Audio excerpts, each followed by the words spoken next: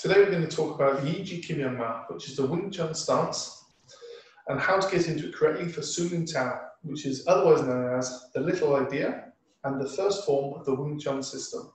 Okay, so with our feet together, hands by our sides, we're going to bend our knees, toes out, heels out. Okay, so now sitting in a stance, relaxing, okay, our weight should be evenly distributed between both feet, 50-50. Our heels should be one shoulder width to one shoulder width and a half apart. Okay? And if we were to draw a line from each heel to toe on the same foot and continue that line forwards, this line should not cross for about a meter in front of your body. Okay, so with hands by your sides. Okay, so shoulders are back and relaxed, and knees bent. Okay, now relax. Okay, so now with the side on view, I'm in this view here, you see my knees are not forward of my toes.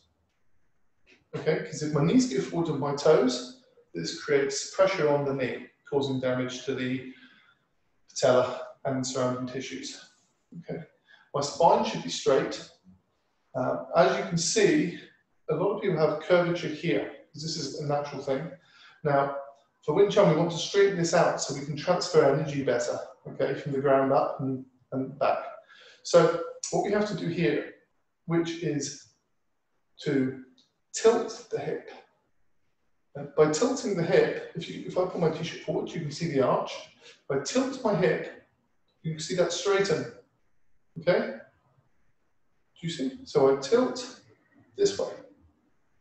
So this bit's going back, this is going forward. It's like I'm on, um, on a skewer. So I tilt the hip.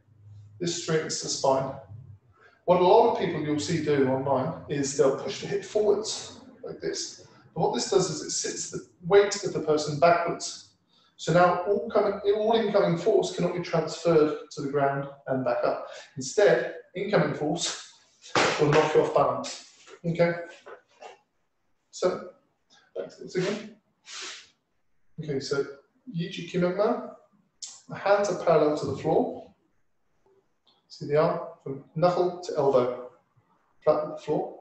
Spine is straight, shoulders are back and relaxed.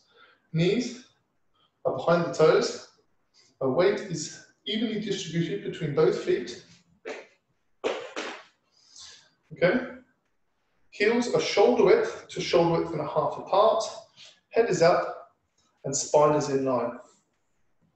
Okay.